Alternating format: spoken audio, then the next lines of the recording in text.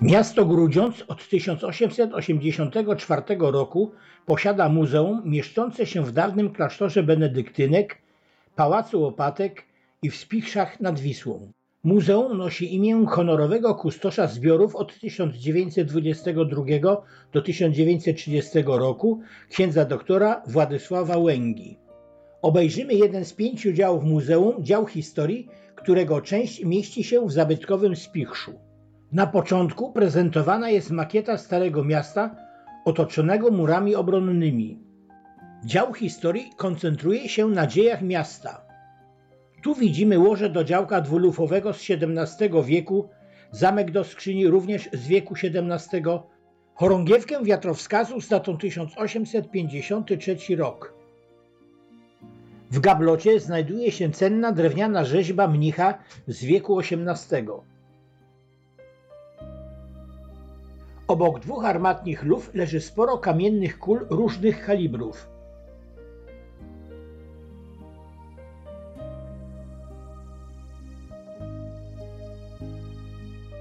Nad nimi dwa portrety polskich władców, którzy przyczynili się do rozwoju Grudziądza, nadając miastu przywileje. Pierwszy z nich to August II Mocny, drugi Stanisław August Poniatowski. Trzy XVII-wieczne rzeźby z drewna lipowego kościoła reformatorów pod wezwaniem Świętego Krzyża. Od prawej anioł z dzieckiem, anioł i archanioł Michał. W tle fotografia rokokowego ołtarza głównego tego kościoła, wiek XVIII. W XIII wieku krzyżacy sprowadzeni na ziemię chełmińską zbudowali warowny zamek komturski. To jego makieta i położenie względem miasta.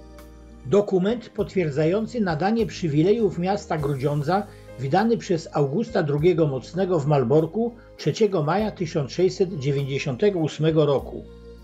Podobny dokument wydany przez Stanisława Augusta Poniatowskiego w Warszawie 28 kwietnia 1766 roku. XVIII-wieczna broń palna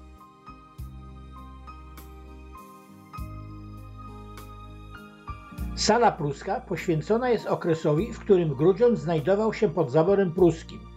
Wówczas zbudowano w północnej części miasta cytadelę zwaną twierdzą Kurbiera, pruskiego generała. Sławił się on obroną cytadeli przed wojskami Napoleona, gdy inne twierdze poddawały się bez walki. Zasłynął powiedzeniem jest jeszcze król Grudziądza.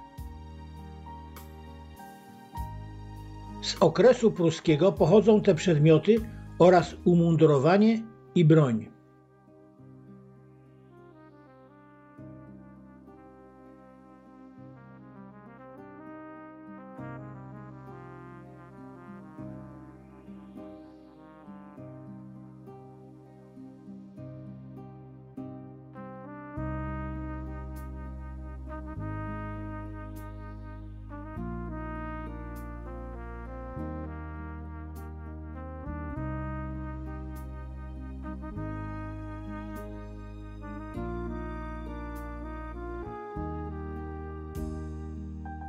Kartusz herbowy Rzeczpospolitej Trzech Narodów, Polski, Litwy i Rusi, Orzeł Biały, Pogoń i Archanioł z 1898 roku. W 1893 roku działacz polonijny Wiktor Kulerski założył w silnie zgermanizowanym Grudziądzu Towarzystwo Ludowe. Przenosimy się na ulicę Klasztorną, przy której wznosi się Pałac Opatek, była siedziba Ksieni, czyli przełożonej zakonu benedyktynek. Obok przyklasztorny gotycki kościół Świętego Ducha.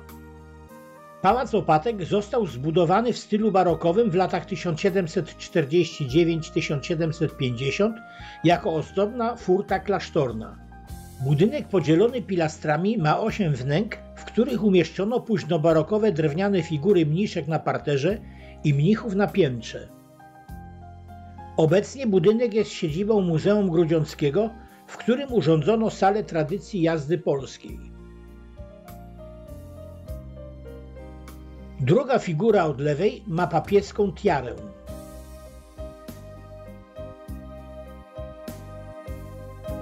W sali na parterze ustawiono rzeźbę naturalnej wielkości przedstawiającą kawalerzystów konno w cwale.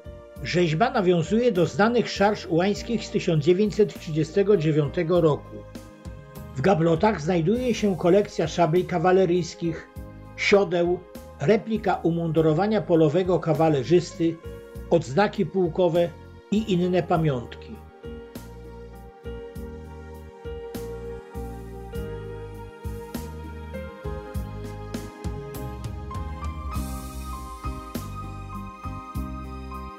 Na pierwszym piętrze w wolnostojących gablotach zaprezentowano oryginalne mundury kawaleryjskie wraz z ekwipunkiem, a w gablotach wnękowych kolekcję broni palnej i elementy wyposażenia kawaleryjskiego.